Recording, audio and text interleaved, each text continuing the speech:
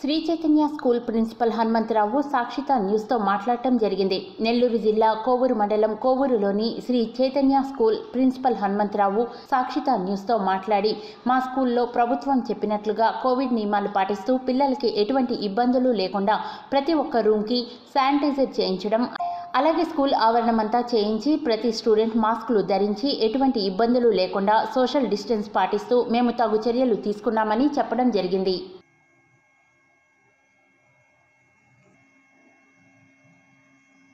అందరికీ నమస్కారం.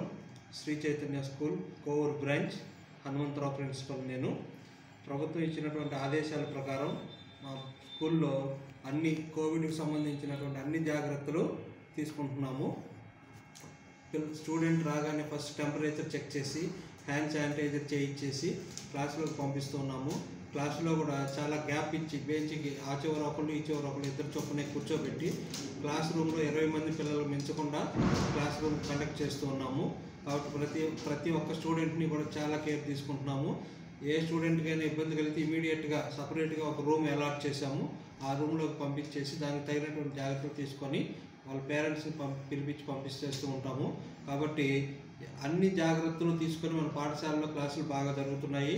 కాబట్టి మా తరపు నుంచి తల్లిదండ్రులకు ఇచ్చేటటువంటి హామీ అంత జాగ్రత్తలతోటి పాఠశాలకు పంపించండి మీ పిల్లల్ని.